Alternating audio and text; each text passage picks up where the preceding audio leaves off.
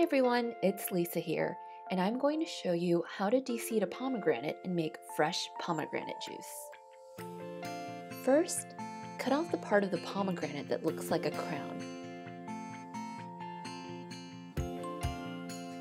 I like angling my knife downward when cutting a circle around the crown.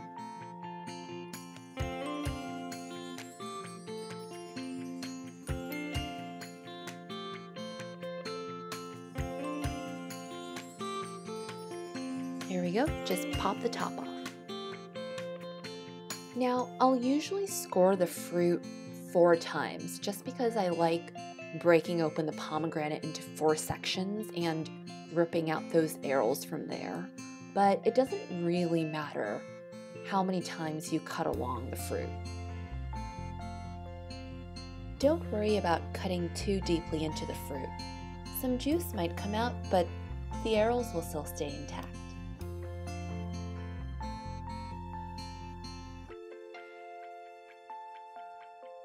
There we go. Look at those beautiful ruby arils. I'm just going to break this up into chunks so that they're easier to manage later.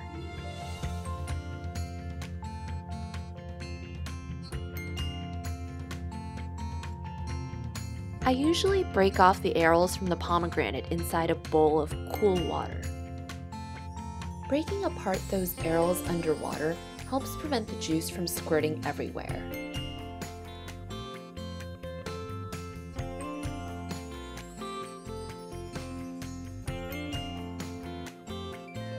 All right, we're nearly there.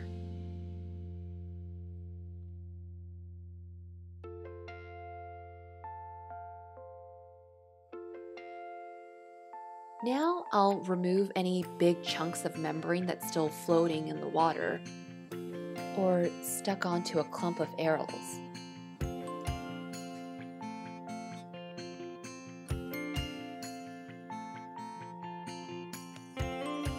I'll also go through and pick out any discolored arils.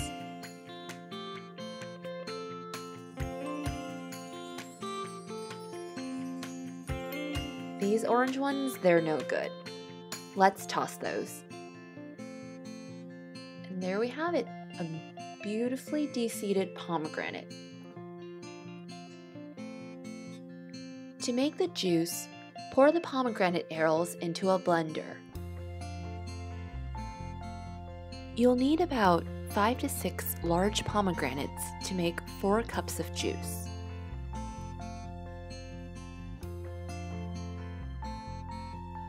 Next, pour the juice through a strainer to strain out the pulp and seeds.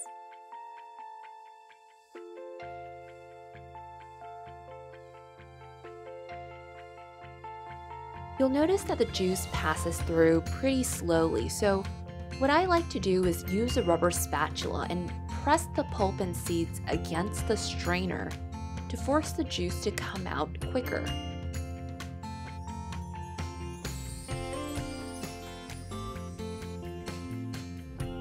This process takes about a minute or two.